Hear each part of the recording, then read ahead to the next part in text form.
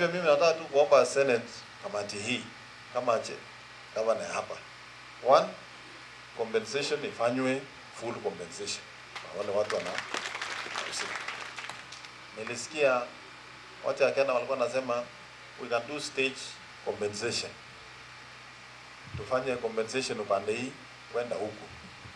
Pia hiyo chairman si mbaya, lakini usiniambie nitoke Ngeria kama hujanicompensate na siku ile utafika ngeri after two years tunafanya fresh valuation, kwa sababu kila mwaka bei ya shamba ina. Sasa wewe ukiniambia, because we also want to support government to implement the project, hatukatai.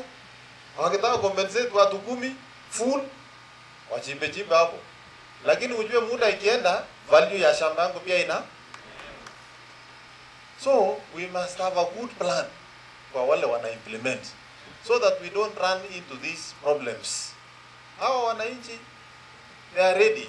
Wakipewa pesa leo they will move. They will move. Lakini hiyo ya kuambiwa toka alafu unadai serikali for so long, me I don't support. Niliwauliza tukuwa pale maili tisa, wakasema wamepanga mpango ya compensation as they progress, watalipa wakati wanaendelea. Lakini sasa hiyo pia vile governor amesema ni lazima ikuwe conditional. Kama hiyo ndio ile njia watachukua, basi watakuwa wanafanya valuation ya mpaka ile mahali wanalipa. Wakisema ni kilomita tano, valuation ya hapo na wanalipa siku hiyo. Wakitembea tena wanasema tena pale tena hiyo ni kilomita ingine tano tunajenga pale, wanavali hiyo siku hiyo na wanalipa.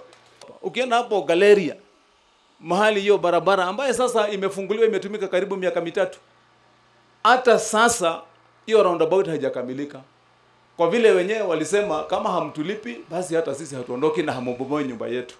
So mbona game ibadilike ikifika Uasin Gishu pahali pengine? Iko ufisadi ingine inataka kufanyika kule shamba ya maili tisa, mahali wanataka kukimbia kufanya compensation is public land. Iko Mikora National Land Commission wameenda kupatia mtu title, ndio wako busy anajifanya ana register raia. That land belongs to the county government of Uasin Gishu.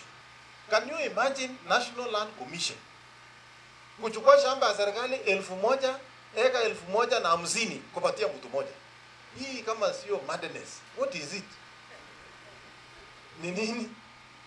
Mtu mmoja ni muhimu kuliko wananchi squatters mia tatu zaidi ya elfu moja na serikali ya kaunti ambayo inapanga ratiba ya wananchi milioni moja laki tano. So hii ukora ya 300 million mnasikia ni wale watu ya maili tisa who are not owners.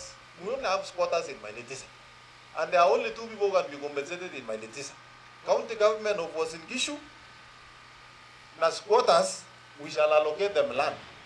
End of the story. One of the main objectives of this project is to decongest Eldoret town.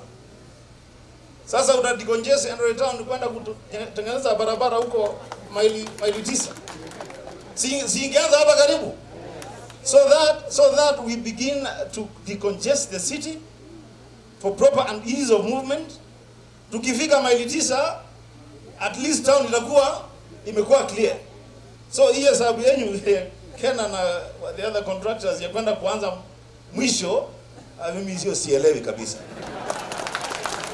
lazima tuishi kwa ile kiwango ya pesa tuko nayo, na lazima pia tutengeneze barabara kulingana na ile mahitaji inahitajika. Kenya hatujafika mahali ya kutengeneza barabara ya luxury, ati unatengeneza dual carriage way na unaweka ile inaitwa service lane kilomita mia moja. As a country we should also concentrate on how do we put our resources on infrastructure ambaye kiuchumi ita stimulate economic growth. Kwamba hii petition yenye mumelete imekubalika, imepigwa muhuri ya Senate. Mbeleni nilikuwa nimefikiri ati hiyo hiyo petition tungeipeleka Nairobi tugojee, alafu ipeanwe, alafu ikipeanwa iwe ni document yenye tuta- tutachukulia hatua, lakini vile tulivyoketi hapa nikasema sisi wote kama Senate mpaka speaker mpaka karani wote tuko hapa Uasin Gishu. Kwa hivyo tukitoka hapa tukimalizana na nyinyi, badala ya kuenda na Nairobi na hii document tutapeleka kwa kikao ya hapa Uasin Gishu ya Senate